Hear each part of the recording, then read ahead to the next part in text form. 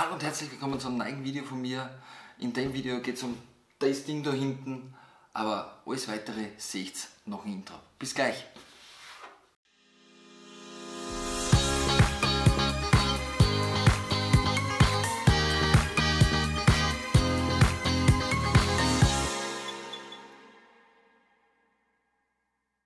Ich habe da jetzt endlich in der Hand, man endlich, ich habe schon jetzt äh, drei oder vier Wochen daheim, bin aber nie dazu gekommen, dass ich mich beschäftige damit und würde dort eigentlich mit euch das Unboxing-Video machen.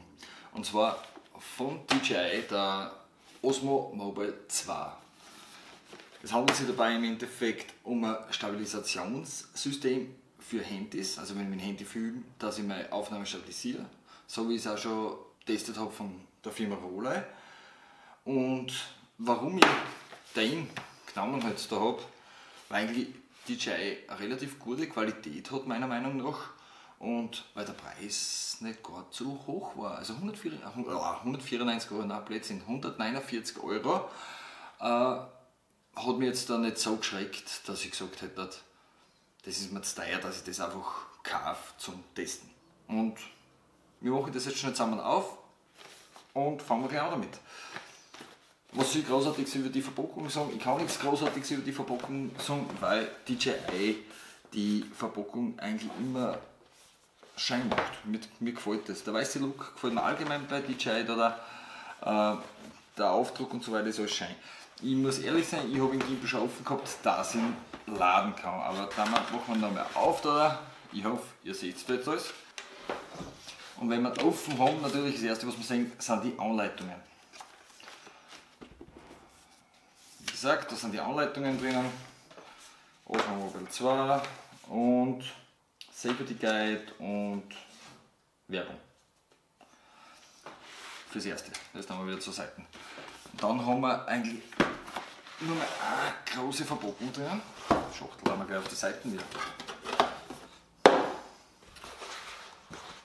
Und da muss ich wieder sagen, das ist echt meiner Meinung nach lobenswert bei DJI einer Verpackung, ich meine, das ist jetzt nicht klar, ich jetzt einmal, aber eine Verpackung ist sehr robust. Und wenn man sagt, man will wohin mitnehmen und man hat da einen Platz dazu, dass man so ein Ding verstauen kann, äh, war sie erst geschützt. Also das ist wie bei der Phantom 4 äh, so ein Preister, echt stark Preister, äh, stark presstes, stark presster, so ein stark presstes Styropor. Aber ich will euch nicht lange auf die Folter spannen, das wird nicht lang dauern. Und zwar, man macht ihn auf und da ist schon alles. Da muss man sagen, besserer, den brauchen wir nicht. Da haben wir jetzt einmal in Osmo Mobile 2 an sich. Und was ist noch dabei? Ein Ladekabel. Das war's schon. Holen wir mal den Gimbal raus. Das Ladekabel holen wir raus. Und den Schutz dann wieder weg. Hintere. Und die Anleitung dann weg. Kommen wir zum Gimbal selber. Er hat für mich jetzt ein kleines Manko, sage ich einmal. Ich habe noch nicht, echt nicht wirklich viel getestet. Das werde ich in einem weiteren Video mit euch machen. Also ich will schon Aufnahmen mit dem Gimbal sagen, aber ich will da jetzt noch nicht wirklich ein großes Fazit drüber ziehen. Ich muss euch eh die Software auch sagen, weil man kann mit der App irrsinnig viel machen. Aber schauen wir uns das im Gimbal selber mal an. Es fällt gleich mal auf, dass der Gimbal selber komplett aus Kunststoff ist. Das ist jetzt da, wenn ich ein bisschen face down greift, man merkt es halt schon ein bisschen, dass er wie knarrt, also ein bisschen so knarren tut. Aber das soll ja nichts heißen über das Gerät selber. Solange, solange das Gerät den Sinn erfüllt für den, was es braucht, also ist es okay für mich. Was sehen wir da alles? Wir sehen einen Rekord-Foto-Button. Wir sehen den Modus-Button und wir sehen da einen Joystick man hat auf der Seite einen Schieberegler für Zoom. Also es ist nichts, meiner Meinung nach nichts schwieriger als wie, wenn man mit einem Gimbal jetzt da filmt, dann muss man umgreifen, weil dann will man hingreifen aufs Bild und zum Beispiel zubezoomen. taugt mir, dass ich da auf der Seite den Schieberegler hat. Und noch zum Sagen ist eigentlich, wir haben da hinten einen USB-Port, also einen USB-Port, einen USB-Anschluss auf der Hinterseite.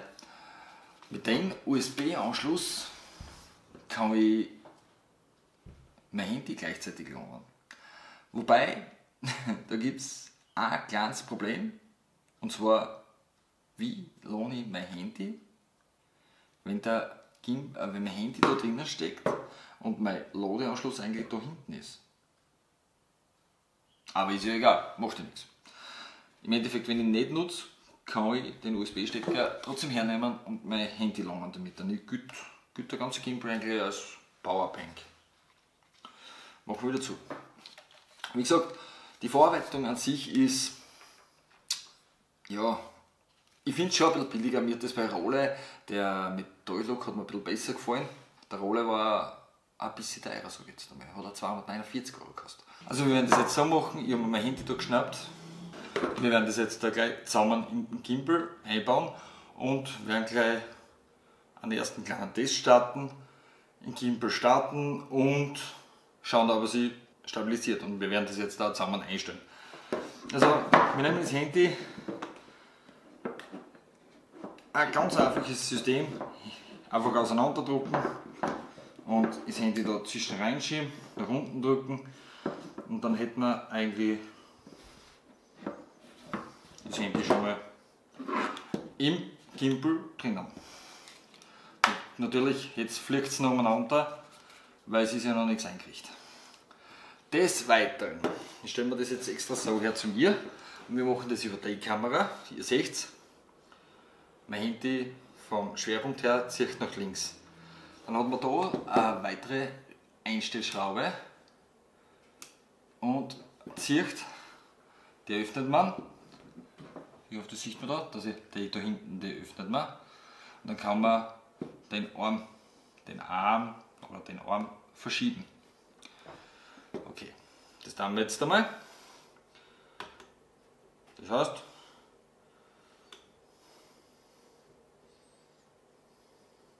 ich richte mein Handy ein und eigentlich haben wir das jetzt schon relativ schnell gehabt. Seht Jetzt steht das Ganze schon mal ohne, dass ich zugreife. Da. Nachdem ich das in der Waagrechten eingestellt habe, ziehe ich die Schraube wieder fest, dass ich das nicht mehr verstellen kann. Was dann als nächstes? Wir schalten das System einmal ein. Dazu drückt man einfach lang auf die Modus-Taste.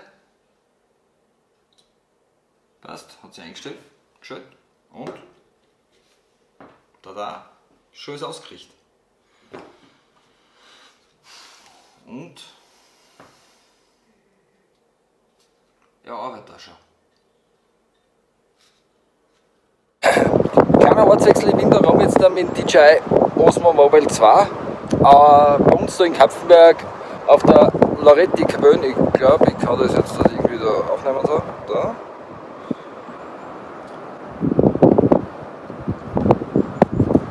Sind da auch bei der Burg Oberkapfenberg herum.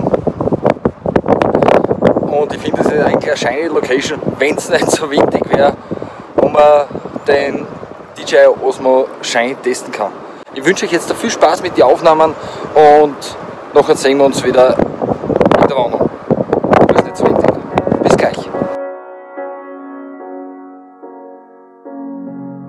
The seasons come and go like thoughts of you. Like a wave returns to the sea into the blue. They change but in a cycle that I can't lose.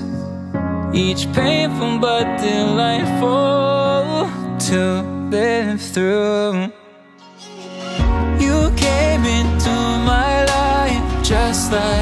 another season Not for long, just a time Just like another season Maybe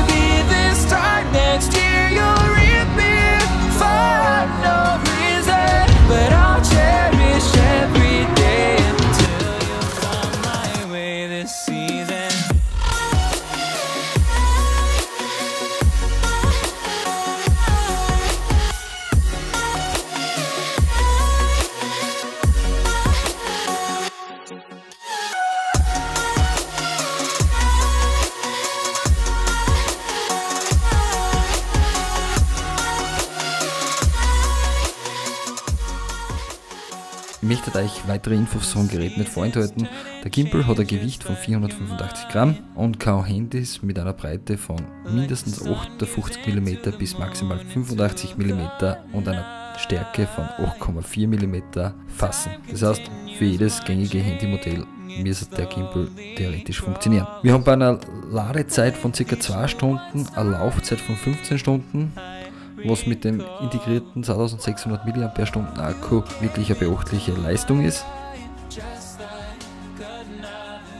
Des Weiteren kennt man auch Hochkant filmen. Dazu muss man nur die äh, Fixierschraube auf der Hinterseite von der Halterung lösen und kann die Halterung um 90 Grad nachdrehen.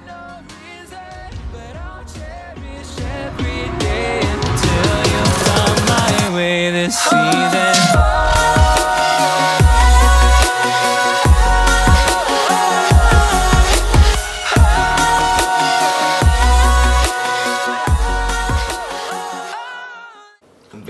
euch das Video gefallen hat, hinterlasst mir einen Daumen nach oben oder abonniert meinen Kanal. Da hat mich echt gefreut. Ich merke, es wird jetzt, für mich ist das schon viel, es werden immer mehr Abonnenten, mir taugt das, das freut mich. Und äh, was soll ich sagen, wenn ihr Fragen habt, fragt es einfach. Ich probiere immer zu beantworten und wenn ihr Probleme habt, könnt ihr es auch schreiben. Ich werde immer schauen, ob ich irgendwie eine Lösung finde. Also nichtsdestotrotz, danke fürs Zuschauen und wir sehen uns beim nächsten Video.